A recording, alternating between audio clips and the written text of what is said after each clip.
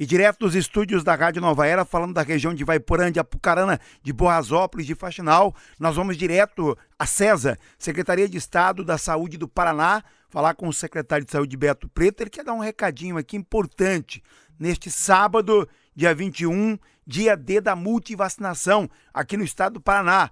Beto Preto.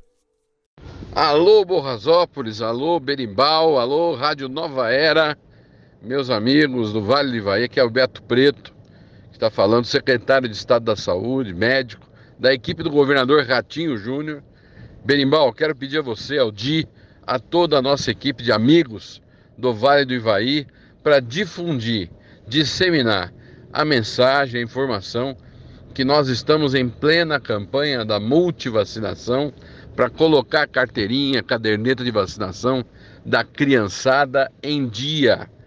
E eu quero pedir a você, você que está nos ouvindo, você que é mãe, você que é pai, você que está acompanhando a, a, a, nova era nesse momento, você que é da família de alguma criança, verifique a, o calendário vacinal da, desta criança, verifique, dá uma olhadinha aí nos carimbos das vacinas, verifique se não tem nenhuma vacina em atraso, ou ainda, se tiver dúvida, vá até a unidade básica de saúde, o posto de saúde mais próximo da sua casa, seja no seu município, seja na sua casa, no seu bairro.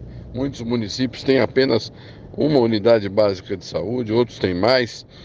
Nós estamos de 14 a 28 de outubro nesta campanha de multivacinação, mas especificamente o dia D é neste sábado, 21 de outubro, Neste sábado, 21 de outubro, as unidades básicas de saúde estarão abertas nessa colaboração do Ministério da Saúde, Secretaria de Estado da Saúde do Paraná e também de todos os municípios paranaenses e também aí, aí no nosso querido Vale do Ivaí.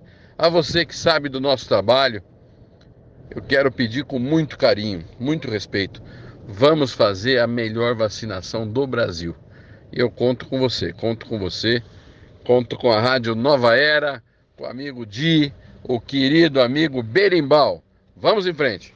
É o recado então do secretário de Estado da Saúde, Beto Preto, para a região Vale do Ivaí, mas para todo o estado do Paraná, aonde essa mensagem chegar, é uma campanha importante que salva vidas.